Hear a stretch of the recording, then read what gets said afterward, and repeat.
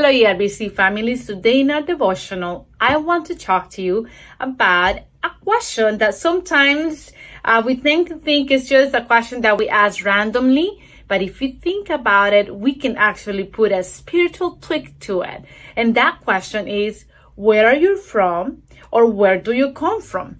And I don't know if you have been in that situation, whether you have asked someone where are they from or where do they come from or you receive that question. I actually been in both sides. And i often get the one that says where are you from or where do you come from?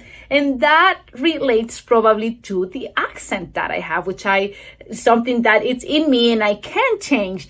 But you know we get to ask that question sometimes when you're in college and you are getting to know your roommates and people around, that's usually one of the questions that will help you open up conversations. And it's because the way you look, the way you talk, uh, something that uh, makes differentiates you in a shirt or something that makes people ask that question. And, but I want to tell you something very important. God tells us that we are his children. And that's something that I want you to remember today. I want to read from 1 John 4 4 and listen to this beautiful truth. It says, You, dear children, are from God and have overcome them because the one who is in you is greater than the one who is in the world.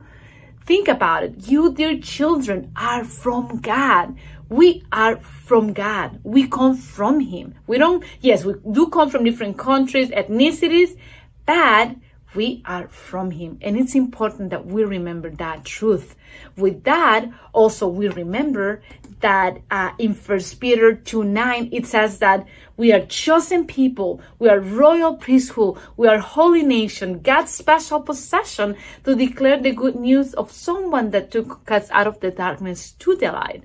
When you are a child of God, you remember that you are royalty, that you're being chosen by Him for something special, that uh, His Spirit is in you, and that you are holy. So I want to tell you today to think about these questions. Where do I come from? You are from God. You come from God.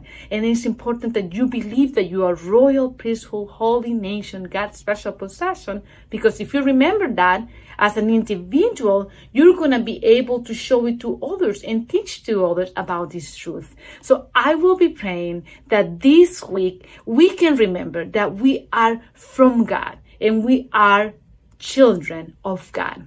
Until next time, church, God bless you. Bye bye.